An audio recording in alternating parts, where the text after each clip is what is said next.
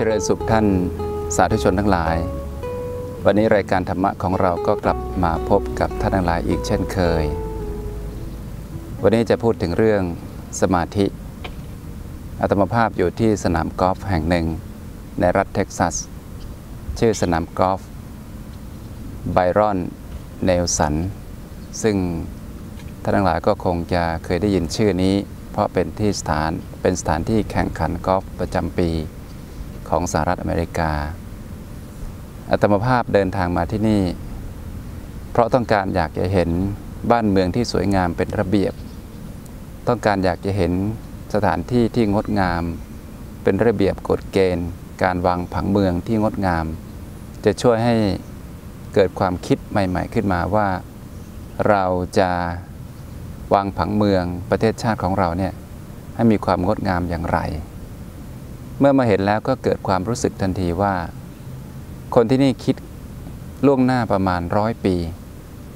คิดว่าอีกร้อยปีข้างหน้าประชากรของรัฐนี้ของชุมชนนี้จะเป็นอย่างไร สาธารณูปโภคที่จะเดินทางไปก่อน มนุษย์จะไปอยู่นั้น รัฐะจะต้องดำเนินการล่วงหน้าอย่างไร เพราะฉะนั้นเราจะเห็นว่าเขาจะวางผังเมืองไปตามจุดต่างๆเนี่ย บางครั้งเราเนึกว่าเป็นทุ่งนา เป็นป่า เป็นภูเป็นเขา แต่ปรากฏว่า น้ำประปาไฟฟ้าถนนอย่างดีเนี่ยไปถึงก่อนแล้ว หลังจากนั้นชุมชนจึงตามไป แล้วเขาก็แบ่งโซนหรือพื้นที่ว่าตรงนี้เป็นที่อยู่อาศัย ตรงนี้เป็นร้านค้า ตรงนี้เป็นที่ทำการเกษตร ตรงนี้ เป็นที่เอกทึกคึกโครมได้ แต่ตรงนี้ไม่ได้นะ ต้องอยู่อาศัยอย่างเดียว จึงทำให้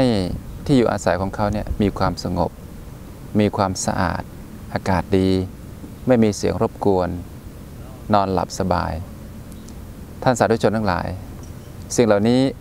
ถือว่าเป็นโอกาสดีที่เราจะได้นำไปพัฒนาประเทศชาติของเราซึ่งอยู่ในระหว่างการพัฒนาอย่างยิ่ง ชาติบ้านเมืองใดก็ตาม ถ้ามีคนคิดล่วงหน้าร้อยปี ชาติบ้านเมืองนั้นก็จะมีความเจริญก้าวหน้า แล้วก็มีระบบมีระเบียบ เราคิดแต่เพียงวันพรุ่งนี้มะรืนนี้ รัฐบาลนี้ปีนี้ปีหน้าแต่เพียงอย่างเดียวไม่ได้ เราต้องคิดไกลๆออกไป คนใหม่มาเปลี่ยนรัฐบาลใหม่ ก็ต้องมีแผนร้อยปีเนี่ยรองรับเช่นเดิม แปลว่าต้องเดินตามแผนที่วางไว้ บ้านเมืองของเราระยะหลังนี้ค่อนข้างจะขาดการติดต่อ ความต่อเนื่องของการพัฒนา อย่างเป็นระบบจึงทำให้บ้านเมืองของเราเนี่ยเสียศูนย์ เสียหลัก ที่ดินพื้นที่จึงสับสนไปหมด บางแห่งโรงงานอยู่ในที่อยู่อาศัย ที่อยู่อาศัยอยู่ในพื้นที่การเกษตร หรือโรงงานอุตสาหกรรมอยู่ในพื้นที่การเกษตรเป็นต้น ทำให้มันปะปนกันไปหมด แม้แต่บ้านเรือนที่อยู่อาศัยกับร้านค้า บางทีก็อึกระทึกคึกโครม ไม่มีความสงบ ไม่มีความร่มเย็น ต้นไม้หรือธรรมชาติที่ควรจะเจริญเติบโต แต่ก็ถูกตัดถูกโค่นไปเรื่อยๆ เพราะต้องพัฒนาต้องตัดถนนน้นทางต่างๆ เพราะฉะนั้นเชื่อมั่นว่าเมื่อเรามาเห็นสถานที่ดี ๆ อย่างนี้แล้วเนี่ย ก็อยากจะบอกกล่าว พี่น้องคนไทยหรือท่านผู้ชมทุกท่านที่มีส่วนรับผิดชอบ ในการวางผังเมือง วางผังชีวิต วางผังอนาคตของชาติเนี่ยให้มาดูที่เมืองลัสโครินัสหรือเมืองดัลลัสรัฐเท็กซัสเนี่ยดูสิว่าเขาทำอย่างไรทำไมเขาจึงจัดระบบบริหารจัดการสถานที่ของเราของเขาเนี่ยได้อย่างลงตัว วันนี้ธรรมะของเราก็หมดเวลาลงแล้วอัตมภาพขอลาไปก่อน ขอเจริญพร